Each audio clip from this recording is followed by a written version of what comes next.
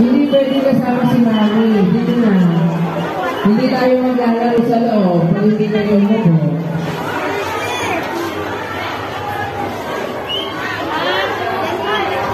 Sorry po.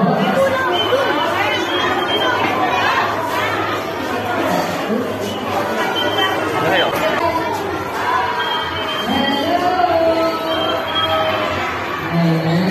Okay.